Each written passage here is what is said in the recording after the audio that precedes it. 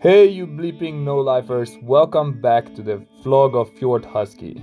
This is the vlog that doesn't really understand what it's trying to be, but it's fun and enjoyable to watch anyway. Thank you for the patience and sticking with us throughout these last weeks. It's been pretty hectic. We're back here to show you absolutely nothing at all. But with all that being said and set aside, here is a very interesting piece of news. Look at these two dogs. Notice anything funny about them? I don't think it takes a rocket scientist to see that we're about to have puppies. So here's Bunny and Skewer's little love sequence. Enjoy!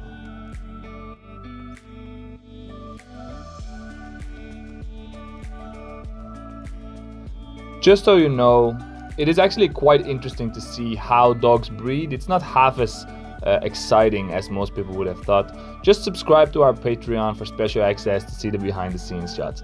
Just kidding, next video when we talk about Storm Gyda is actually when we're to show you how breathing works, so stick around for that.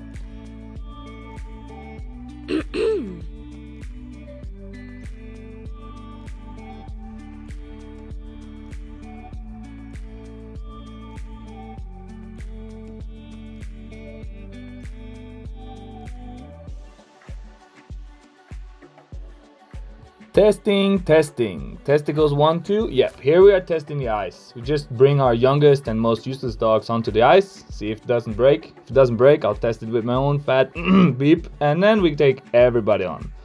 Just kidding, we know that the ice is safe enough.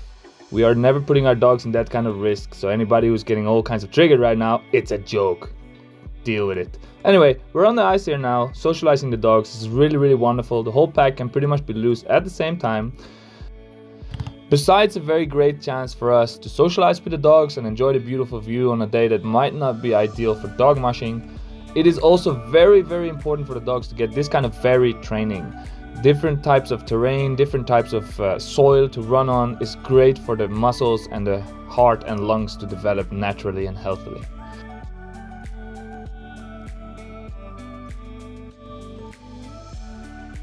Here you see the start of one of our tours. Here in January, it's actually quite common to do um, pretty much two, one or two dog tours every single day. This is where we get our main source of income to buy, buy dog food from. It isn't an entirely lucrative business at the moment with the pandemic raging and destroying the industry, but that being said, it's pretty fun and the customers love it. So it's a very, very laid back and easygoing way to get the dogs exercised, to get the customers happy, and to earn dog food. When we feed the dogs, as you have seen many times before, we use a pulka in order to bring the food down to the dog yard. We don't want to carry all of it, it's way too heavy. We've developed this kind of a lazy habit of just letting go of the pulka on the top of the hill and it will pretty much slow down by the bottom. And then sometimes it doesn't. Oh or in this God. case, it goes horribly, horribly wrong. Sometimes the pulka tips over, the meat flies out, and we end up spending way more time getting all the shit back into the pulka as we would have if we'd have just taken the the stuff into our arms and carry it down to the dog yard. Anyway, 9 out of 10 times it works out fine, this time it didn't. Whoopsie daisy.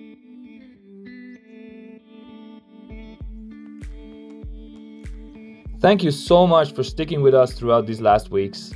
We've tried to really, really upload a video earlier, we didn't manage to, so we're very grateful for those of you who are still around.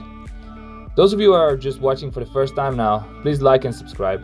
If you didn't like this video, go ahead and dislike Tell us in the comments what you would like to see so you so you can enjoy it in the future.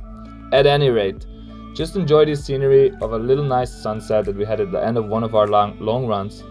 It was pretty pretty windy weather, but what we didn't know that it was actually a foreshadowing of what was about to come. So stick around for our next video where we talk about the storm Gyda and how much damage it actually did to our dog yard. You don't want to miss this.